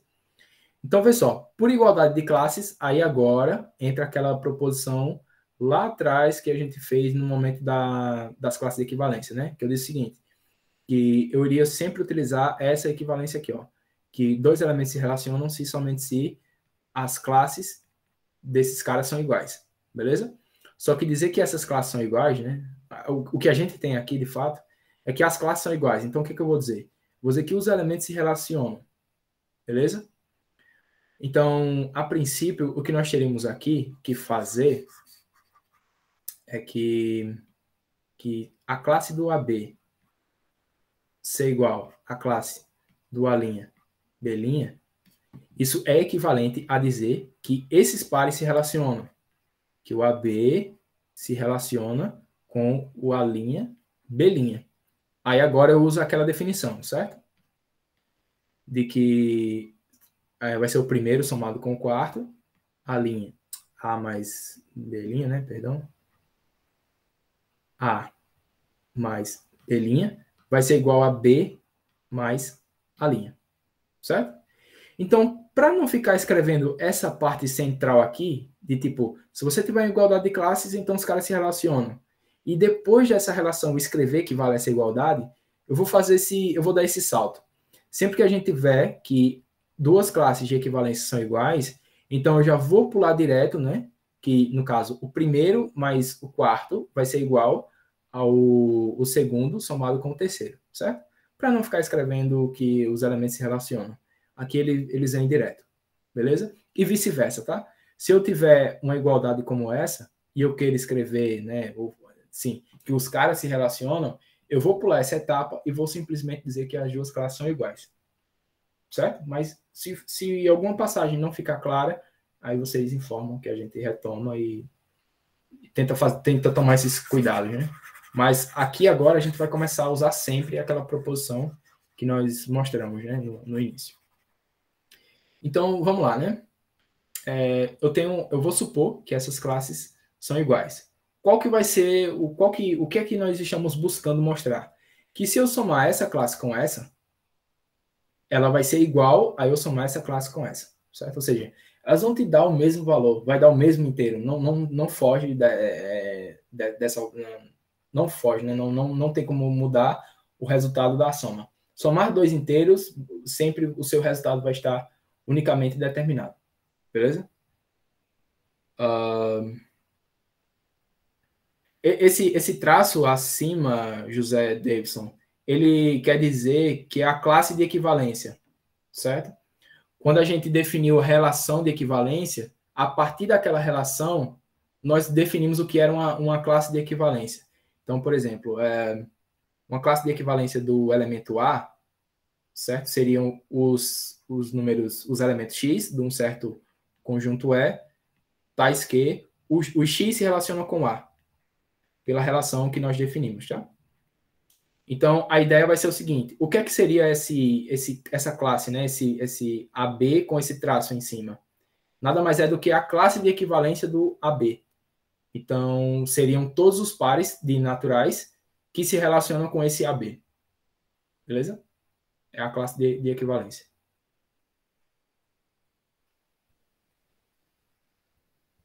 Uh... Bom, então vamos continuar. Beleza. O que a gente quer mostrar né, é que a, a, soma independe do representante. Então, vamos mostrar que essa classe somada com essa é igual a essa somada com essa. Então, vê só. Aqui, essa passagem foi exatamente aquela da proposição que eu mencionei. Ó. Por essa igualdade de classes, os elementos que determinam essas classes, eles se relacionam, e pela relação que nós definimos, nada mais é, né? Essa igualdade implica essa igualdade, certo? Primeiro somado com o quarto, A mais B', segundo somado com o terceiro, B mais A', são iguais. A mesma coisa para essa, essa igualdade de classes. Então, C mais D', certo? Primeiro com o quarto, igual a D mais C', que seria o segundo aqui com o terceiro. Ok. Eu vou fazer o seguinte agora. É, eu, vou, eu vou analisar quanto que dá essa soma. A mais C mais B' mais D'. É, em outro sentido, o que eu vou fazer é o seguinte. Eu vou pegar esse lado, eu vou pegar essas duas igualdades e somar. Só que eu não vou somar é, termo a termo assim, certo? Membro a membro. Eu vou somar esse com esse e somar esse com esse, certo? Mas independe, né? Porque basta que eu que eu inverta a igualdade e some, né? Termo a termo, certo? Mas aqui eu, eu preferi escrever de uma outra maneira, assim, ó. A mais C mais B' mais D', certo? Eu vou partir desse, desse termo aqui, eu quero analisar esse termo, certo? Um, só que A mais C mais B' mais D' é uma soma de naturais aqui. Então, o que é que eu posso fazer? Eu posso associar, posso comutar, posso fazer a operação que que me for conveniente, certo? Então, o que é que eu vou fazer? Eu vou associar o A com o B', certo? E vou associar o C com o D', ok? Por que, que eu fiz essas associações? Porque agora eu vou usar essas igualdades que eu tenho aqui. Então, apareceu lá para a gente A mais B'. Eu vou trocar por B mais a linha. Apareceu também, ah, acho que C mais D'. E aí eu vou trocar C mais D' por D mais C', certo? usar essas igualdades que nós temos por hipótese. Então, ó, o A mais B' eu troquei por B mais A', e o C mais D' eu troquei por D mais C', certo? Pelas igualdades no, do slide anterior. Agora eu vou fazer uma, uma nova associação entre esses elementos agora. Eu vou juntar o B, o B com o D, aqui, ó, primeiro parênteses, mais, e aí eu associo o A' com o C'. Então, nós ficamos com essa igualdade agora, né? Com essa, com essa expressão. Então, vê só. dizer que é, como aqui é uma sequência de igualdades, né? Eu posso igualar esse cara a esse cara, certo? O primeiro ao último, certo? Só que essa igualdade, essa igualdade implica para a gente, né? Ela nos, nos diz o seguinte, que essas duas classes são iguais. Por quê, né? De novo, Perceba que aqui eu tenho um natural somado com outro. Aqui um natural somado com outro. Então, é, quando você tem uma igualdade né, de, de, entre somas ali de naturais, vocês podem dizer que certos pares de naturais se relacionam, certo? Pela definição lá da, daquela relação de equivalência. Só que dizer que dois pares se relacionam é a mesma coisa que afirmar que duas classes de equivalência são iguais. Que classe de equivalência, né? Daqueles elementos que estão se relacionando. Percebam, né, que de fato essas classes vão ser iguais, porque observem o seguinte, ó, se, se, essas, se essas duas classes realmente forem iguais, certo? Nós temos a seguinte observação, que o A mais C mais B' mais D', que é exatamente o que está aqui, ó, tem que ser igual ao B mais D mais a linha mais C' que também é o que está aqui, ó. Certo? Então, de fato, essa igualdade, ela vai implicar nessa igualdade de, de, de classes de equivalência aqui, certo? Nessa igualdade desses dois inteiros.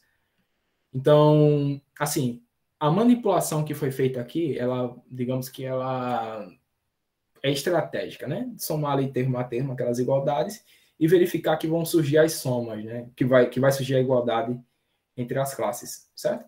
E pela forma como a gente definiu a soma, né? só mais uma passagem. Uh, isso aqui não, vocês poderiam reescrever como sendo não alfa, né?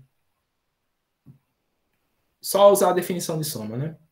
Vocês podem reescrever essa soma como sendo A, B, a classe, mais a classe do CD, igual Aí esse aqui vocês podem quebrar também, né? Como a linha B' mais C', D'. Ou seja, nós pegamos representantes diferentes das classes do AB e do CD e mostramos que a soma ainda é a mesma, certo? Depende do, do representante. Então, essa soma que nós colocamos né, no, no, no conjunto dos inteiros aí definido, um, ela está bem definida, né? Não, não tem problema com representantes. Se você mudar os números, independe aí, o resultado vai ser o mesmo. Não, não altera em nada. Então, quais são as propriedades que a adição em Z é, deve, deve satisfazer? Né? Quais são as propriedades que nós esperamos que Z satisfaça? Associatividade, comutatividade. Nós vamos mostrar que existe e é único um elemento em Z, né, um número, um número inteiro, o qual nós vamos denotar por zero. Tá o? Somar qualquer inteiro com esse zero vai, vai dar o próprio inteiro, né? Ou seja, alfa mais zero é igual a zero mais alfa, que é igual a alfa, qualquer que seja o, o alfa inteiro, né? Ou seja, existe é o único elemento neutro dos inteiros. E é, é fato, né? A gente conhece também essa propriedade. E para cada número inteiro, existe e é único um elemento em Z, né, o qual nós vamos denotar por menos alfa, é, tal que alfa mais menos alfa é igual a menos alfa mais alfa, que é zero, certo? É o que a gente chama de oposto aditivo, simétrico, enfim. Mas é o, o elemento né, que somado a alfa vai dar zero. Ok? Então vamos lá, vamos verificar essas propriedades. Então vamos começar com a associatividade. Eu vou pegar três números inteiros, quaisquer, e eu vou partir da soma alfa mais beta mais gama. O que é que eu preciso mostrar, né? Que isso resulta em alfa mais beta mais gama, certo? Se eu verificar isso, é... a soma é associativa, né? A adição é associativa. Então, veja só. Primeiro escreve alfa mais beta mais gama. Vou substituir alfa, beta e gama pelas suas representações em classe, certo? E nesse primeiro aqui, eu vou usar a definição de soma. Que a gente, a gente acabou de definir, né? A adição de inteiros. Como é que eu somo dois números inteiros? Basta somar entrada a entrada, né? Coordenada a coordenada. A mais C, B mais D. Nós obtemos esse novo número inteiro. Só que agora eu tenho novamente a soma de dois inteiros usa novamente a definição. E aí vai ficar A mais C mais E, B mais D mais F. Ok. Agora percebam que aqui dentro, né, da, em cada uma da, das coordenadas dessa classe, nós estamos com soma de naturais, certo? É a adição dos naturais que nós conhecemos, ok? E na adição dos naturais, eu sei que vale a associatividade. Então, eu vou usar associatividade tanto nessa primeira componente quanto nessa primeira, quanto na segunda componente. Certo? Então, ó, eu escrevo, ao invés de A mais C mais E, eu escrevo A mais C mais E e B mais D mais F, certo? Associa uh, esse, essas entradas, beleza? Aí agora eu vou usar novamente a definição da soma, só que agora não para juntar em uma única classe. Vou separar em duas classes de, de equivalência, né? Numa soma de dois inteiros. Então, isso vai ficar A, B mais a classe do C mais E, D mais F, certo? Usa apenas a definição e consegue reescrever dessa forma. Agora, observem que eu vou, eu vou fazer a mesma coisa com essa classe do C mais E, D mais F, certo? Eu vou separar em, dois inteiros, na soma de dois inteiros, desse, dessa maneira, ok? Então, agora eu volto a essas classes, classe do AB, CD e EF, para alfa, beta e gama. E aí, claramente, nós obtemos isso, né? Que alfa mais beta mais gama, né? É, é igual a alfa mais beta mais gama. Ou seja, independente do, do, dos inteiros que a gente pegue, vale a propriedade de associatividade para esse conjunto. Ok? É, comutatividade. Eu vou partir novamente de alfa mais beta reescrevo alfa e beta em suas representações em classes e uso a definição de adição. Então vai ficar A mais C, B mais D. Ok? Percebam que as entradas de, dessa classe de equivalência elas essas são somas de naturais. Então vale, por exemplo, a comutatividade de naturais. Então qual que é o próximo passo? Comutar esse, esses elementos. Então, C mais A, D mais B, usa de novo a definição da soma de inteiros, só que não mais para juntar em uma única classe, e sim separar na soma de outras duas, certo? CD mais AB, né, as classes. E agora observa que a classe do CD é o beta e a classe do AB é o alfa, beleza? Então, alfa mais beta é igual a beta mais alfa, independente de, de quem sejam alfa, alfa e beta, ok? Então, duas propriedades aí demonstradas. Vamos agora para o elemento neutro da adição, certo? Detalhe aqui, não vamos confundir o zero dos inteiros, que é uma classe de equivalência, com o zero natural, que aí seria o zero número que a gente conhece e está habituado a trabalhar, certo?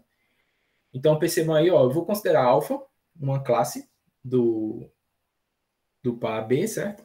E eu vou chamar de, de zero um, um inteiro qualquer. Eu não sei como que esse inteiro, qual que é a cara desse inteiro, né? Mas eu vou tomar um inteiro genérico e estudar a possibilidade de solução para essa igualdade que nós temos aqui na frente, beleza? Então, vou tomar um alfa e o zero, um elemento qualquer. Não sei se existe esse elemento, a gente vai verificar que de fato ele existe. E eu vou considerar essa igualdade.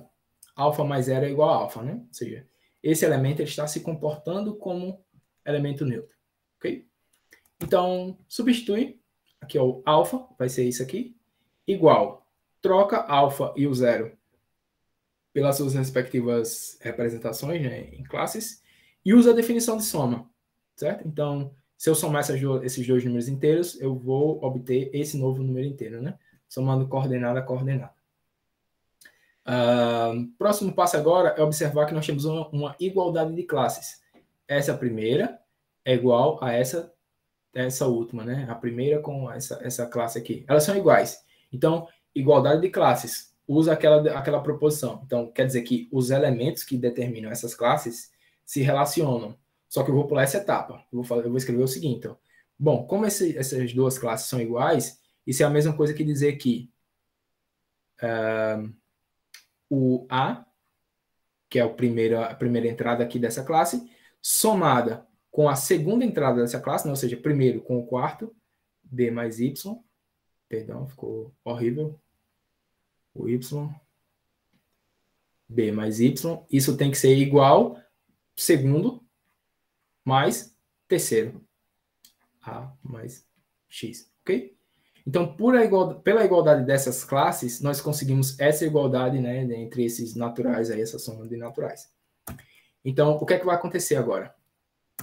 Né? É, então, nós tem, obtemos essa igualdade, que é o fato né, das classes serem iguais. E observem que nós temos aqui ó, uma soma, né? Aqui, cada um dos membros aqui é, são somas de naturais. E percebam que nós temos o A somando dos dois lados. Vale a lei do corte para a soma nos naturais. Então, corta esse A com esse A. Mas também tem o B, somado dos dois lados. Então, corta o B com o B. E aí, o que é que nós obtemos, né? Pela lei do cancelamento, o x tem que ser igual a y, né? Vai ficar y igual a x ou x igual a y, tanto faz. Ou seja, o elemento neutro, ele existe e ele é da forma é, x, x. Ou seja, nós vamos estar trabalhando com o elemento neutro da adição quando as duas entradas do, desse número inteiro, né, dessa classe de equivalência, forem iguais. E era meio que de se esperar que isso fosse acontecer. Por quê? Porque quando a gente for para os números inteiros que a gente conhece, o zero é o zero que a gente costuma trabalhar mesmo, né? Então, imagina esse, esse, essa classe em que as duas entradas são iguais, certo? E aí vamos utilizar aquele bônus, aquela roubadinha, né, que a gente vai sempre se apoiar nela para fazer algumas construções. Então, se eu escrever isso aqui como uma subtração, como uma, como uma diferença, seria o primeiro menos o segundo. Então, x menos x. E claro, né, independente do x que você escolha, isso aqui vai dar zero. Certo? Então, era esperado que a classe que determinasse o elemento neutro da adição fosse um, uma classe em que as duas entradas fossem iguais, porque a diferença entre elas dá zero. E esse zero, né, que resulta, vai ser o zero que lá na frente, né, é, a gente vai adotar, né, como o zero que a gente conhece de fato. Beleza? Então, para facilitar a nossa vida, eu vou escolher um x específico, certo? Para trabalhar como elemento neutro. E esse x específico é o zero, né? Eu posso fazer isso porque lá no começo eu tinha mencionado que é, o zero é natural. A gente vai trabalhar com o zero natural. Então, por isso que eu escolhi o x igual a zero aqui nesse caso. Então, assim, a princípio, quem é o nosso elemento neutro da adição? É a classe do par 00. Só que, sempre que você tiver é, uma classe de equivalência em que as duas entradas são iguais, é o elemento neutro da adição, beleza? Então fica definido aí quem, que existe né, o elemento neutro. A unicidade é a unicidade que acho que certamente vocês já devem ter visto em cursos aí de, de álgebra, enfim. Então eu vou supor que existe outro elemento neutro da adição. Então eu vou supor que existe um zero linha inteiro é um outro elemento neutro. Então, vê só. Pela definição de elemento neutro, o zero é um número inteiro. O zero linha é elemento neutro. Então, se eu somar o zero com o zero linha, observando o zero linha como elemento neutro, tem que dar zero. Só que, por outro lado, o zero é elemento neutro. Então, se você somar um elemento neutro com qualquer inteiro, vai dar esse inteiro. Beleza? Então, ó, por que, que eu posso escrever o zero dessa forma? porque o zero, né, o zero é inteiro. Então, somar qualquer inteiro com o elemento neutro vai dar o próprio inteiro. Então, aqui, essa primeira igualdade, a gente faz olhando o zero linha como o elemento neutro da, da adição. Só que nessa segunda igualdade, o que, é que eu fiz? Bom, o zero linha é inteiro. E o zero também é elemento neutro. Então, somar o elemento neutro com o inteiro dá o próprio inteiro. Então, conclusão, né? O zero é igual a zero linha e, e o elemento neutro é único, né? Era era de se esperar. Uh, bom, vamos agora para o oposto aditivo, né? Ou simétrico, enfim, como queiram. É, eu vou considerar alfa uma classe, a classe de equivalência do par AB, e menos alfa uma classe qualquer, uma classe do XY. Não sabemos qual a relação que existe entre esses elementos, né? Do, do menos alfa. Então, vamos considerar essas classes e supor, por exemplo, que alfa mais menos alfa dá o zero. Certo? Então, será que existe solução para essa, essa equação? É isso que a gente vai analisar. Então, vê só. Substitui, né? Essa, o zero vai ser a classe do zero zero, que a gente acabou de, de observar. O alfa vai ser a classe do AB e o menos alfa vai ser a classe do XY. Usa a definição de soma. Então, é, A mais X é igual a B mais Y. Beleza? Só que, pessoal, você tem uma classe de equivalência dando o elemento neutro. Então, quando que um quando uma classe de equivalência qualquer vai ser o elemento neutro? Quando as duas entradas forem iguais. Foi o que a gente acabou de observar. Beleza? Então, para que essa classe seja igual ao elemento neutro, o que é que nós temos, né? Que o B mais Y certo? Uma entrada tem que ser igual à outra, ou seja, é igual a mais x, certo? Só que essa igualdade de classes nos diz que essas duas classes são iguais. Basta observar aí, né? Essa igualdade, né? Essas somas de, de naturais resultam para a gente que essas duas classes de equivalência são iguais. Basta usar a definição, né? Da, das classes de equivalência. Aí vocês analisam assim, ó. É, x mais a ou A mais X, tanto faz, porque é comutativo, os naturais, igual a Y mais B, ou B mais Y, tanto faz, porque a soma nos naturais é comutativa. Então, essa igualdade nos dá a igualdade entre essas duas classes. Só que essa primeira é o menos alfa, certo? Ou seja, você vai estar trabalhando com o elemento o simétrico de qualquer alfa. Se você pegar alfa, igual ao AB, classe do par AB, quem que vai ser o oposto aditivo? Basta que você inverta a ordem aqui da, das entradas, certo? Isso aqui vai ser o B, A, ok? Isso vai ser o BA. E por que, que também era esperado que isso acontecesse para o elemento o elemento simétrico, né? Porque, pessoal, se o alfa é igual a esse cara, né? É, olha para essa classe de equivalência como sendo uma subtração, uma diferença. Então, isso aqui seria A menos B, certo? Então, sem muita, sem muita conta, o menos alfa para a gente precisa ser o quê? Menos esse número, né? Menos, menos A menos B, certo? Então, dado o número inteiro, quem é o seu oposto aditivo? Menos ele, beleza? Então, isso é de se esperar. Aí faz aqui o jogo de sinal, vai ficar B menos A. E B menos A, em termos de classe de equivalência, seria exatamente a classe do par BA. Ok? Então, aí nós teríamos, né? É, que é, era esperado, né? Que o oposto aditivo fosse apenas uma inversão das posições da, do, do número inteiro alfa, né? Ok. Um, bom, então aqui a existência a gente já verificou. A unicidade, eu vou supor que existe um alfa linha inteiro, que é o oposto aditivo de alfa também. Então, vê só, pela propriedade do elemento neutro, o menos alfa eu posso escrever como menos alfa mais zero. Ok? Agora utiliza a propriedade do oposto aditivo. Certo? Eu vou olhar o, o alfa linha como sendo o oposto aditivo do alfa. Então, o zero eu posso escrever como sendo alfa mais alfa linha. Ok? Nós já verificamos que to, todos esses três caras aí são inteiros, né? São números inteiros. Menos alfa, alfa e alfa linha. E a gente já verificou para os números inteiros que vale associatividade. Então, associa esses números, a gente reescreve dessa maneira. Menos alfa mais alfa, mais alfa linha. Só que menos alfa mais alfa dá zero, né? Porque menos alfa é o posto aditivo de alfa. E aí nós obtemos zero mais alfa linha. E alfa linha é um número inteiro. Somar um número inteiro ao zero dá o próprio inteiro, né? Então aí, né, supor que existe um outro um outro oposto aditivo, é, seria absurdo, certo? O oposto aditivo é único. Supomos que existe outro e verificamos que ele é igual ao que nós já tínhamos, né? Então, o oposto aditivo é único. Uh, proposição sobre a soma, né? Vale a lei de cancelamento. Se você pegar é, alfa mais beta igual a alfa mais gama, então o beta é igual a gama, né? Vocês podem cortar o alfa e ficar com a igualdade entre beta e gama, certo? Isso é uma coisa que a gente faz naturalmente, né? Mas vamos verificar que isso, isso é verdade. Então, sejam, sejam alfa, beta e gama, essas três classes. E vamos supor, por hipótese, né, que alfa mais beta é igual a alfa mais gama. Então, pessoal, é, troca alfa, beta e gama pelas suas respectivas classes. Então, alfa mais beta ficaria a soma entre essas duas classes, tá? Alfa e beta. E alfa mais gama seria a soma entre essas duas classes.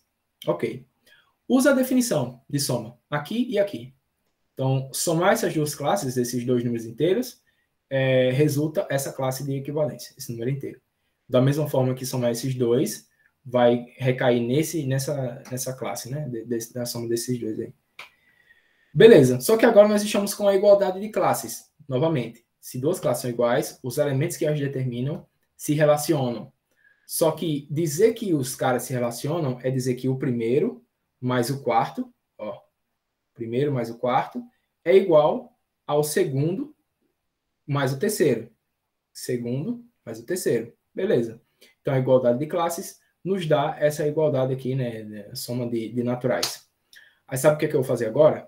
Percebam que tem x aqui e x aqui, somando.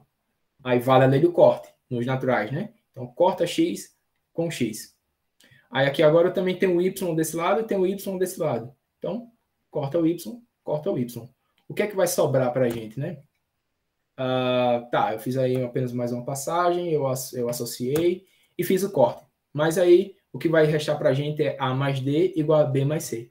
Só que A mais D igual a B mais C nos dá que vale a igualdade entre essas duas classes. Beleza? Por quê, né?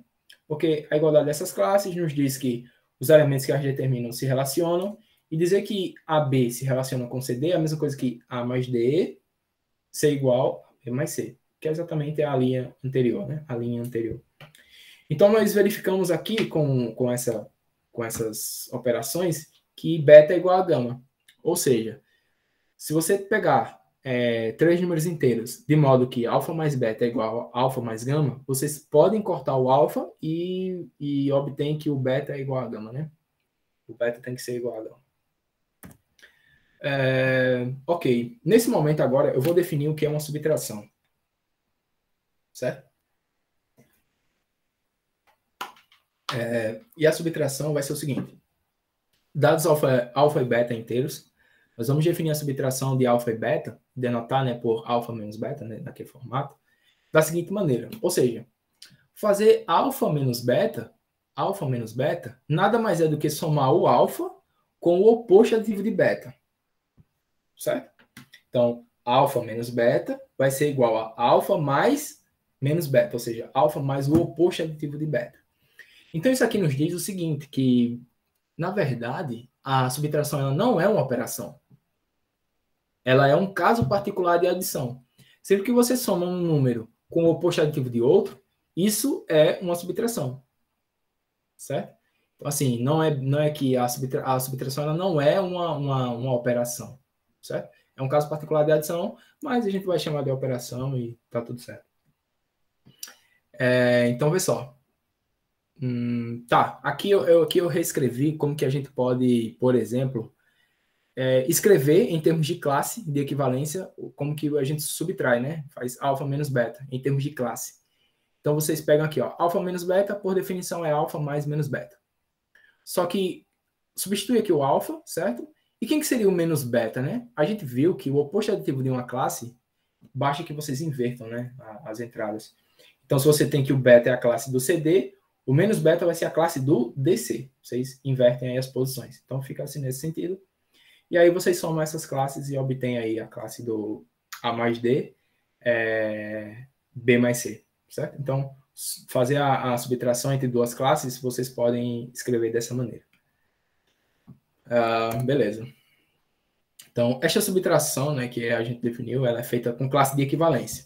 Ainda não é aquela subtração que a gente está habituado de números inteiros, certo?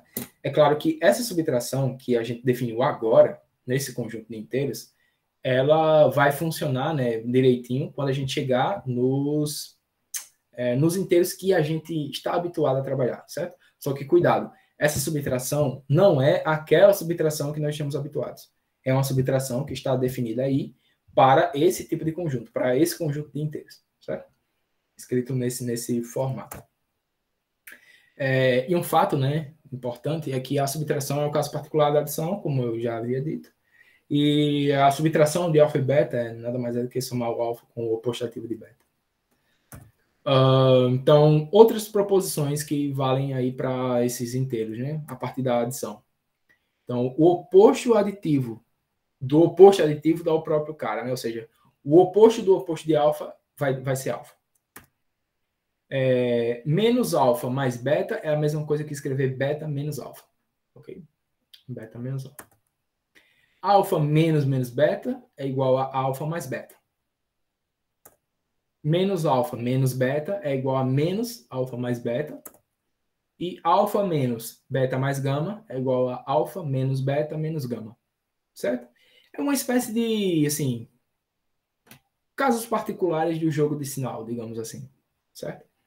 A gente vai mostrar o caso geral para jogo, jogos de jogo de sinal, né, nas multiplicações e tal. Mas aí seria uma espécie de caso particular de, assim, nem todos, né? Mas a ideia seria que aí nós temos uns casos particulares quando você está multiplicando por menos um, né? Nos, nos inteiros que a gente conhece. Mas, mas enfim. Uh, pessoal, vamos provar um. Seja alfa igual à classe do, do AB, um número inteiro. Assim, eu vou trocar o alfa pela sua classe, certo? Então, quem que é menos menos alfa? Vai ser menos menos a classe do AB. Só que menos a classe do AB, né? Ou seja, quem é o oposto aditivo da classe do AB? Vocês trocam as entradas né, de posição. Então, isso vai ficar menos a classe do BA. Só que menos a classe do BA, você está tomando o oposto aditivo da classe do BA. Só que o que é o oposto aditivo da classe do BA? Basta que você troque as posições é, das entradas né, aí da, dessa classe, certo? Do par que determina essa classe. Então, menos a classe do BA nada mais é do que a classe do AB, novamente. Só que a classe do AB é alfa, certo? Então, menos menos alfa é, vai dar o próprio alfa. Uh, vamos verificar aquela segunda, né? Eu quero mostrar que menos alfa mais beta é beta menos alfa. Beleza? Então, toma duas classes, alfa e beta, e, e reescreve, né? Elas em, em, suas classes, com suas respectivas classes, certo? Então, menos alfa mais beta. Então, reescreve, nós chamamos aquele, aquela expressão. e, a, e menos a classe do AB inverte as posições, né? Toma o oposto aditivo. Isso vai ficar B, a classe do BA mais a classe do CD. Usa a definição de, de, de é, usa a comutatividade, perdão, escreve com esse formato.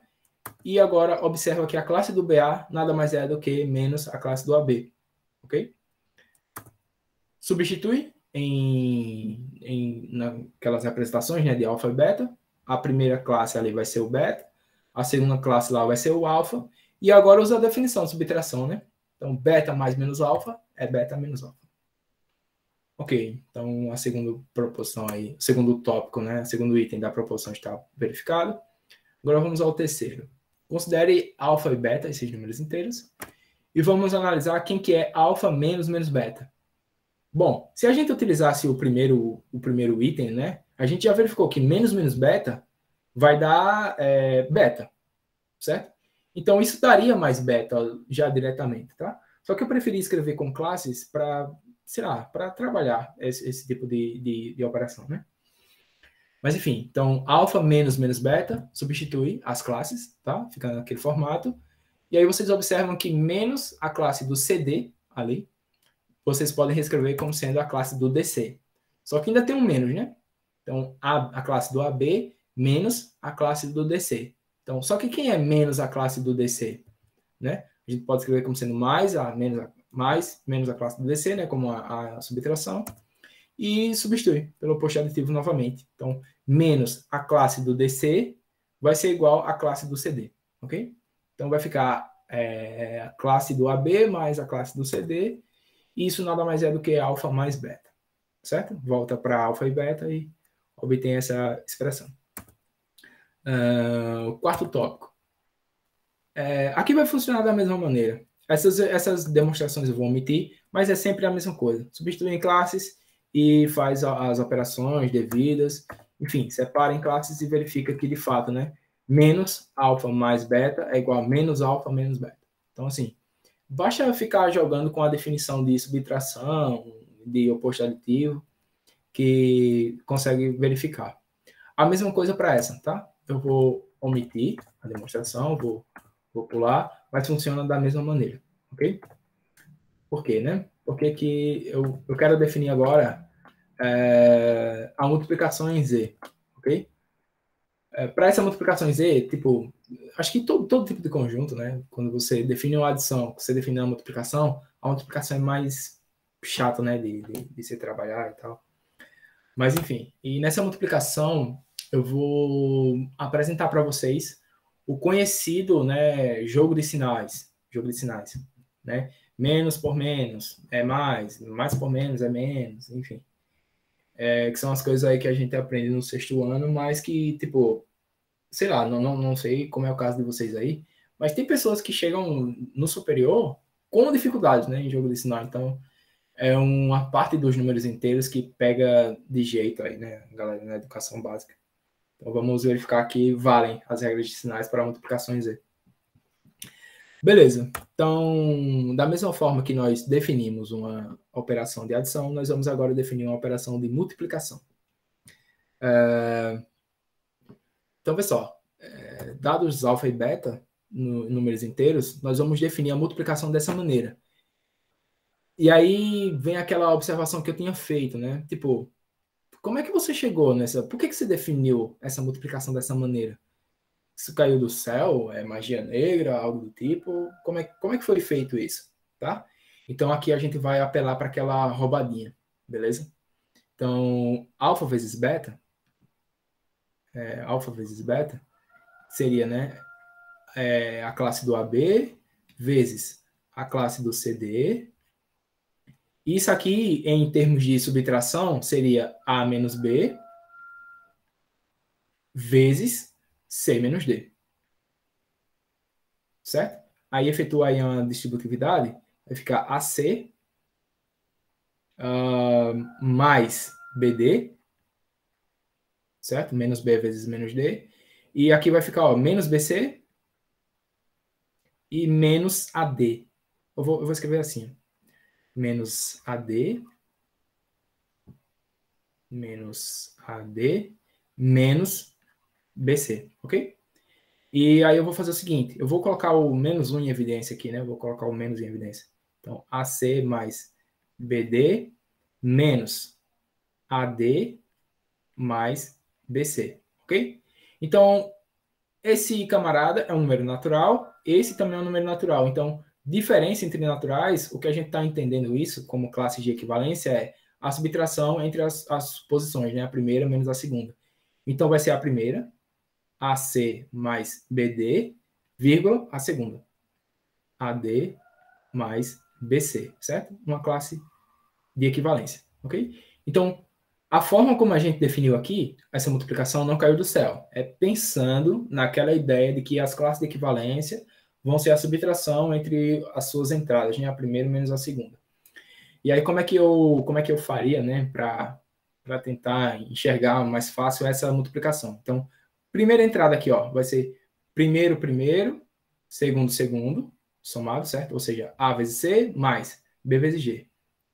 E a segunda entrada vai ser primeiro vezes o segundo, AD, mais segundo vezes o primeiro, B mais C, certo? Então, a primeira entrada vai ser componente a componente e soma. A segunda entrada vai ser primeira com a segunda e segunda com a primeira, componentes, né? E faz também essa soma. A gente define a multiplicação dessa maneira. E da mesma forma que a gente fez para a soma, nós vamos verificar que essa, essa operação está bem definida. Ok? Então, vou, vou escolher ó, mais dois representantes das classes, tanto da classe do AB quanto da classe do CD, e, e vou verificar que se eu multiplicar a classe do AB pela do CD, isso vai ser igual a multiplicar a classe do A' B' pela classe do C' D'. Isso quer dizer que a operação está bem definida, né? Vai, vai funcionar bem. Então, igualdade de classes, creio que vocês aí já estejam habituados agora, vai ser primeiro mais o, mais o quarto, igual ao segundo mais o terceiro, beleza? Tanto para essa quanto para essa, ok? Nós temos aí essas duas expressões. Eu vou fazer o seguinte, eu vou multiplicar a primeira por C. Eu vou pegar essa primeira igualdade e multiplicar por C. Então vai ficar assim, ó. AC mais B' C igual a BC mais a linha C. E eu vou fazer o seguinte, eu vou fazer o seguinte também. Eu vou pegar aquela mesma equação 1, Vou pegar essa mesma equação 1 e multiplicar por D. Certo? Então, nós também obtemos essa expressão. AD mais B'D igual a BD mais a linha D. Certo? Uh, daí, o que é que nós obtemos, né? É, se, eu, se eu observar essa soma, AC mais BD mais a linha D mais B C, que é aquela mesma estratégia de somar membro a membro aqui, mas cruzando, né? Não, não somar termo a termo, somar assim, o primeiro aqui com o segundo aqui, o primeiro, o segundo aqui com o primeiro aqui, mas dá, dá, dá no mesmo, né? Então, como é que vai ficar, né, essas expressões? Ora, eu vou, aqui eu estou em naturais, estou no conjunto de naturais, eu posso associar. Então, associa o A', o, o AC com o B''C e associa o BD com o A''D, certo? E agora eu vou usar essas igualdades aqui, ó. Essas igualdades. E aí eu obtenho o seguinte, que o, A, o AC mais B' C vai ser BC mais A' C, certo? Por essa igualdade. E o BD mais A' D vai ser igual a AD B' D, certo? Por essa igualdade aqui. Faço uma nova associação, AD mais BC, eu junto esses dois, e a linha C mais B' D. Eu junto esses dois da, da, da mesma forma. E aí o que acontece? Se eu observar agora a igualdade do primeiro cara com o último, eu posso escrever isso como uma igualdade de classes. Que igualdade de, de classes, né? Essa é a igualdade, certo? Então, a igualdade de classe aqui implica que o primeiro com o quarto, vamos voltar lá, né, para verificar que nós temos AC mais BD mais A' D mais B' C. Opa. Ó. AC mais BD mais A' D mais BC, é, C, certo? Uh, e da mesma forma, né, seria a segunda aqui, não sei se eu inverti a maneira como eu falei, mas tá, tá bem definido, né? Vai ser AD mais BC mais a linha C mais B' D. Acho que esse é o primeiro. Não, tá, tá ok. É isso mesmo, tá? Então, de fato, a igualdade daquelas classes resulta na igualdade né, entre essa, essa, dessa expressão, né? Surge essa expressão pela igualdade daquelas classes. Uh, agora, nós vamos pegar aquela equação 2. Vou fazer uma estratégia semelhante, só que agora eu vou pegar essa equação 2 e multiplicar por... Deixa eu ver... Por belinha. Da mesma forma, eu vou pegar a equação, multiplicar por belinha. Aí aparece essa expressão. Belinha C mais belinha D' é igual a belinha D mais belinha C'. Ok? Uh, da mesma forma, eu vou pegar aquela mesma equação e multiplicar por a linha. Vai ficar a linha C mais a linha D' igual a linha D mais a linha C'. Ok? Faz aquela mesma estratégia de, de somar né, de uma maneira conveniente. Nós vamos obter é, essa igualdade aqui. Ó. Vou pular essas etapas. Nós chegamos nessa igualdade, certo? É, dessa, dessa passagem, dessa igualdade para essa, o que foi feito foi utilizar essas igualdades aqui que nós encontramos, tá? Essa belinha C, mas tal, tal, tal, e essa de baixo. Essas duas que nós obtemos multiplicando a equação 2 por, primeiro por belinha e depois por a linha, certo? Então, usa essas, essas igualdades, né? E nós chegamos novamente nessa né, expressão, essa igualdade aqui, entre o primeiro e o último, vai nos dar, vai nos dar a igualdade entre essas classes de, de equivalência, certo? Então, nós vamos ter aqui a linha C' mais B', D', vírgula, a linha D' mais B', C' é igual, né? Essa classe é igual a essa, certo? E, de novo, igualdade de classes, o primeiro somado com o quarto aqui, com o quarto, certo? Então, perceba aqui, ó, primeiro somado com o quarto, ok? Igual ao segundo somado com o terceiro, que é o que está aqui, Beleza? Então, de fato, essas duas, essas duas classes são iguais. Aí agora o que acontece? Observe que essa classe que está aqui, ó, essa classe que está aqui, ela também está presente na igualdade com aquela outra classe que nós, que nós encontramos aqui, na equação 3, certo? Então, nós temos essa classe igual a essa e essa igual a uma terceira classe, certo? Então, por uma transitividade aí, né, da igualdade, nós chegamos a essa conclusão aqui, ó. E essas duas classes são iguais. Beleza? Só que quem é essa classe aqui? Quem é essa classe? Pela definição de multiplicação, isso vai ser AB vezes CD. E essa outra classe vai ser o A' B' vezes C' D'. Ok? Então a gente verificou que se você pegar outros representantes da classe A, B, C e da classe CD, a multiplicação ela se mantém, tá? Não, não tem nenhuma complicação, ok? Então assim, é, nós teríamos ainda mais uma hora, só que essa parte da multiplicação ela vai, vai ficar um pouco estendida. Então foi nesse momento em que eu fiz a quebra, né? Defini a multiplicação, aí a partir de quarta eu vou apenas retomar o, o como que a gente definiu a multiplicação, e aí apresentar as propriedades, beleza? Depois das propriedades a gente vê a ordem, depois da ordem a imersão, e aí a gente caminha né, para os finais aí do, do nosso minicurso, beleza? Então, por hoje eu agradeço a atenção, se tiverem perguntas para fazer, é, fiquem à vontade, tá? É muito, Manuel, boa tarde aí. Obrigado aí pela apresentação, cara. Muito ah, interessante de verdade, assim, eu vou confessar para tu que é um pouco complexo para mim, né? Que eu sou um cara meio lerdo. Mas é muito, muito interessante véio, saber dos números inteiros. Eu só tinha número inteiro, aquela ideia que a gente sempre tem, né? Que vem trazendo, que eu também sou só do terceiro período, e a, e a ideia que a gente tem quando vai estudar é só isso, entendeu? E aí, chegar nesse, nesse, aprofundar esse nível aí, eu acho muito interessante. Parabéns aí pela apresentação, foi muito boa, verdade. Eu acho que foi muito esclarecedor para todo mundo aí que está aí. E é isso, cara. Bom, então, a menos de, de perguntas, é, eu me despeço por hoje, agradeço mais uma vez a atenção e a participação né, da, do, do pessoal. E na quarta-feira a gente continua, ainda tem alguns resultados interessantes para serem feitos, tá? Mas vai ser sempre essa mesma pegada, bem, bem algébrica, assim. E eu espero que, que dê tempo, né, da gente... Eu, eu, certamente vai dar tempo, né, da gente inserir o que nós ainda precisamos mostrar para o tempo que nós temos na quarta-feira, tá? Então, mais uma vez, obrigado e qualquer coisa estamos à disposição. Nós é que agradecemos, Manuel. E colocamos a frequência aí no chat, o pessoal pode assinar. E achei bem interessante aquela comprovação do, do elemento neutro que você fez, muito, muito bom mesmo, sabe? Parabéns aí pela, sabe, pela sua coisa. E quarta-feira a gente continua. Se o pessoal tiver alguma pergunta, quiser abrir o microfone, pode ficar à vontade. Se não tiver, pode assinar a frequência. O Enaldo teve que sair, é, porque ele vai estar em outra palestra com, com o Givaldo, viu? Ele pediu para okay. agradecer a você. Nada, eu que agradeço. É, um, um, ponto que eu, que eu não mencionei, não sei se vocês perceberam, mas ali no, no, no rodapé né, dos slides tem o meu e-mail, tá?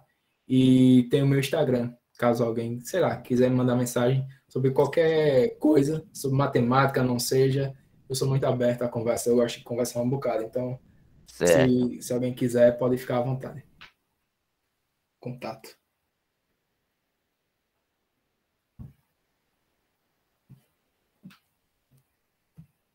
É, eu preciso assinar a frequência?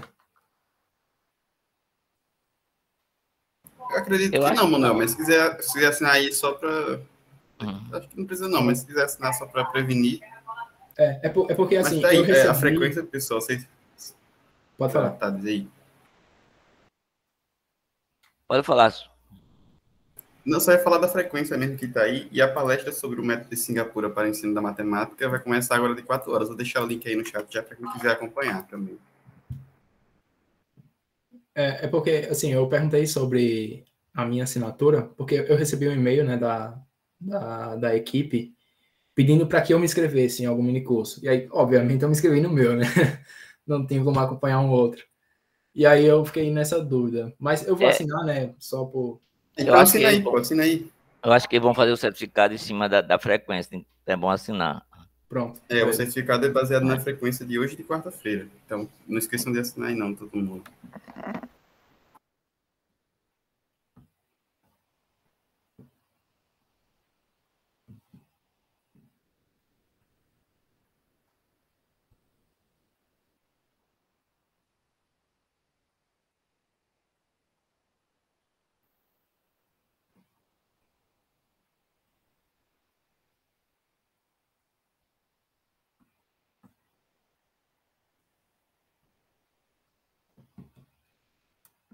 Boa tarde a todos. Manuel. Oi. Aí quarta-feira vai trazer a, a demonstração do, dos naturais dentro dos inteiros? Tá, tá no, na programação? Está, está sim. É, é a imersão, tipo... A imersão, né?